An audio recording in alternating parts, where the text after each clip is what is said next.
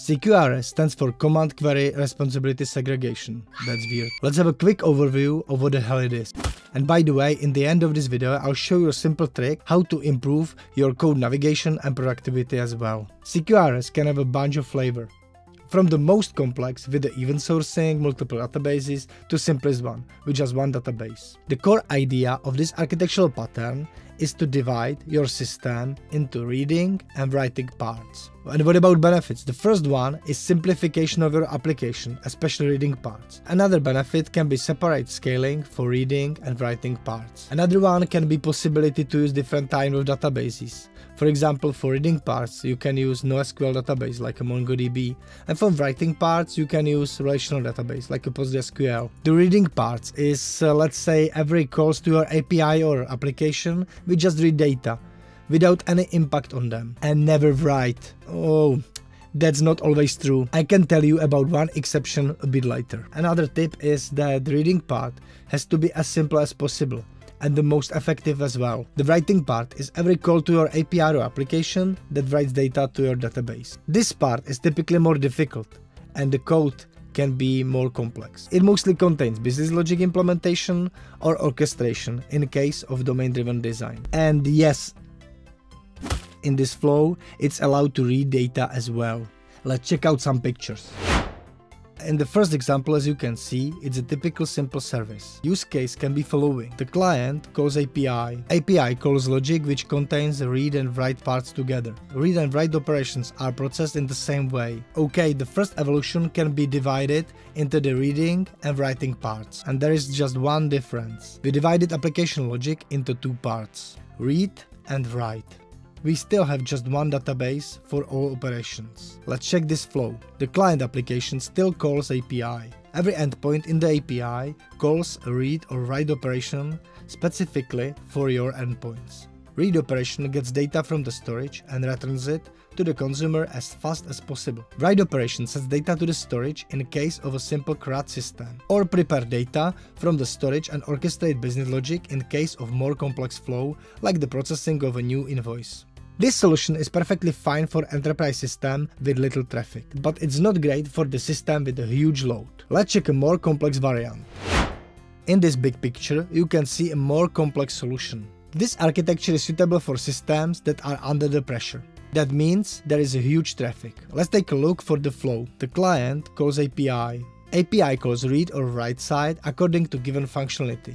Write side performs business logic and change the state of our application.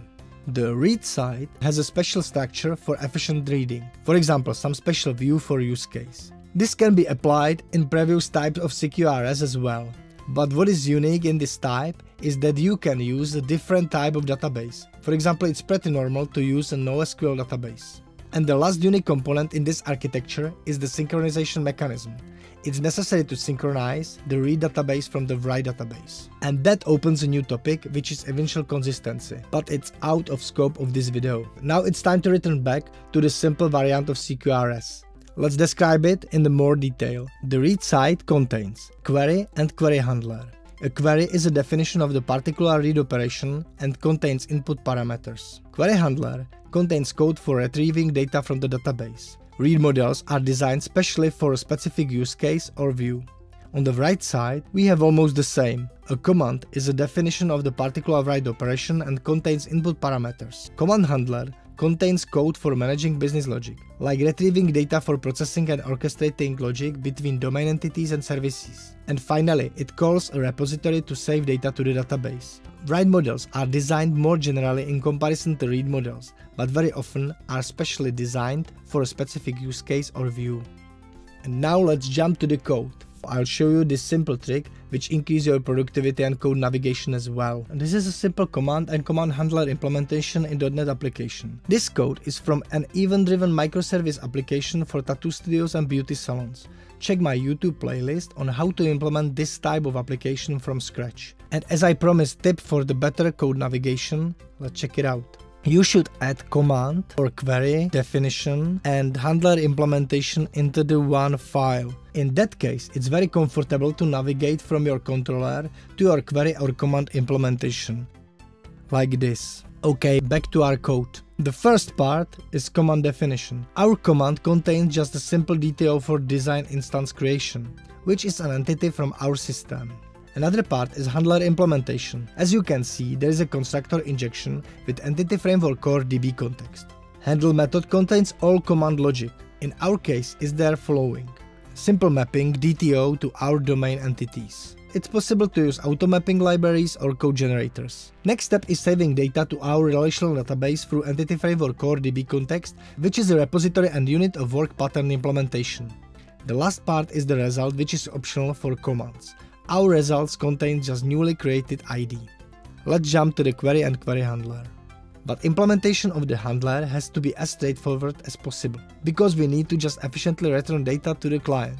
There is just reading data from NoSQL MongoDB and returning it back. Controller and endpoints. Controllers typically calls command or queries. In our case, it's via MediatR library. Mediator pattern implementation. This is a simple implementation of a controller. It's possible to add other necessary stuff like transformation from request object to commands and query objects. You can add some HTTP status code mapping from result to REST API suitable result. As I promised in the beginning, one exception when writing is possible during the reading is audit log.